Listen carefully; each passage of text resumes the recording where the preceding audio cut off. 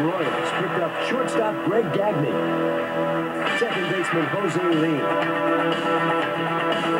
and they signed big-name starting pitcher David Cone to a three-year, $18 million contract. Also on board, switch hitting outfielder Felix Jose, which means that Kansas City could be getting some much-needed run production.